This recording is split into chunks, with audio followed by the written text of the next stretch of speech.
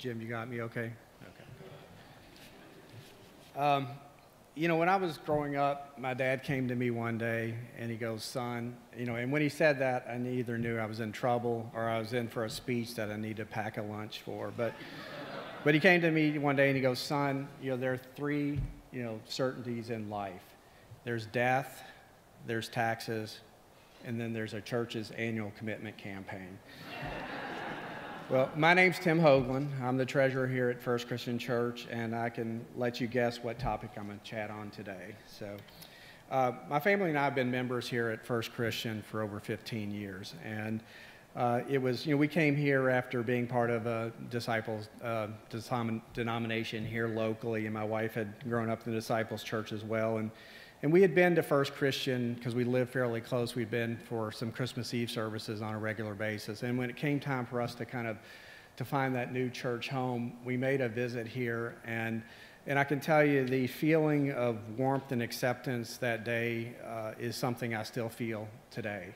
Uh, whether it was Faye Watson, you know, greeting us at the front door, whether it was, you know, Charlotte Tharp, you know, coming in and, and kind of just greeting us like we've been there forever. It was a, a feeling of love that, you know, I've, to be honest, I never had felt in another congregation before, and it's just, I think it's part of the DNA of this congregation, and it is something very special.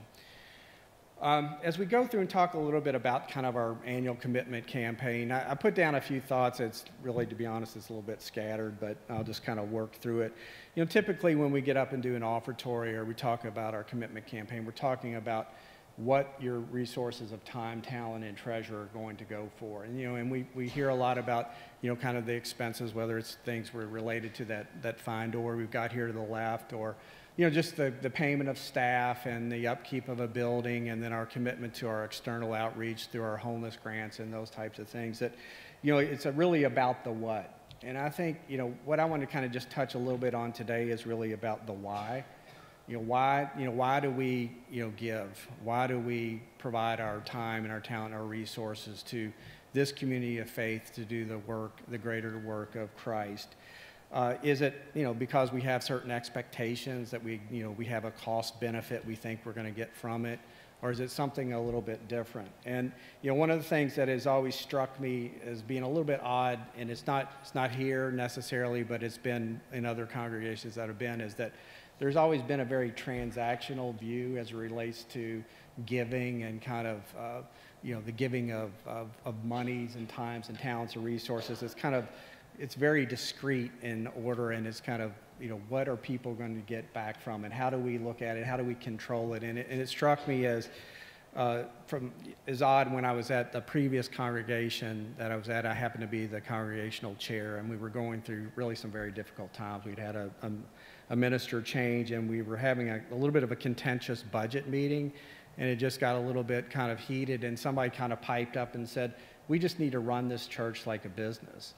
You know, and I kind of thought about it, and I, you know, I looked at this person. And I said, "You know, as disciples of Christ, what business are we in?" And I think that that really kind of struck home to me that a lot of times we take and we look at what we're doing for a congregation or for a church. And we just think about it the way we think about our everyday lives as it relates to, to giving of funds. And I, you know, and I would kind of contend that our, our giving needs to be more transformational as opposed to transactional. And that as we, you know, as we prepare to kind of think about what we want to kind of commit to on, you know, on an annual basis, but then really how we give every every week or every day that we're that we take an inventory of those you know of our time and our talent and our resources and we look at it are, and say okay are we looking at this through a transactional lens? Are we trying to control costs? Are we trying to limit something? Or are we trying to you know kind of see what we can do with those resources? Because you know, in the eyes of God, we've been given, you know, the opportunity, you know, we need to be living like Christ, we need to be loving like Christ, and we need to be caring for others like Christ. And that really, in my opinion, kind of should be our overriding uh, premise for what we're doing. So as we, you know, next week we're going to be sending out a communication. It'll probably come out towards the end of the week, just talking a little bit about how we go through our annual commitment process. Uh, there'll be, you know, some information about the timing of it, the information about how you can make your commitment, whether it's, you know, through email, whether you can go online and do the online giving form, whether you want to call or email me directly or call uh, the church office. But we'll be sending that out. And I, you know, I would like for you to kind of, between now and then, to kind of pray about what you want to be, you know, doing and what you want to be committing to for this, uh, this community faith going forward.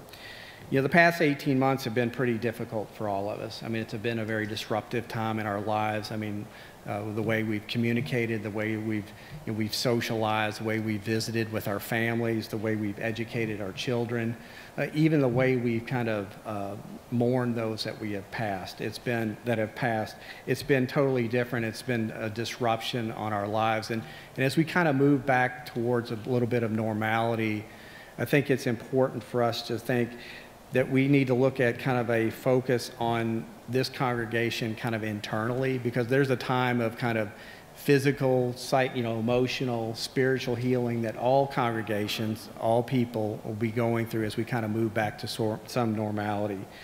So with those things, you know, even though we've gone through this real disrupt, disrupted time and kind of chaos, the one thing that has been a constant through all of that that's been really the, the message, the love, and the promise that this table delivers to us every Sunday. So whether we're getting kind of that, that promise each week here or we, whether we take that out to people outside these walls, that's something that has not changed.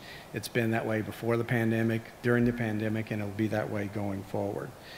So as I mentioned, the mechanics of our kind of our process will be we'll send out a communication about the, the annual giving and the commitment, and then uh, we'll have the timing as to when we need to be getting kind of those back in because it's more than about what you're kind of committing. It allows the church to plan for the upcoming year on how we're going to, to utilize the resources that we have. Um, as Terry mentioned, this is a very exciting time in the life of First Christian Church. Um, I mean, he had a, a, message a couple of weeks ago talking about how our story is going to be written. Uh, you know, we're starting a new chapter here at First Christian Church. It's, it's really, really exciting. And I just would like for, you know, as you go through the process of, of looking for your, uh, your, you know, making a commitment to this congregation, I'd like for you to kind of pray about how your story fits into the community of faith that fits into the larger narrative of what God's plan is for us. Amen.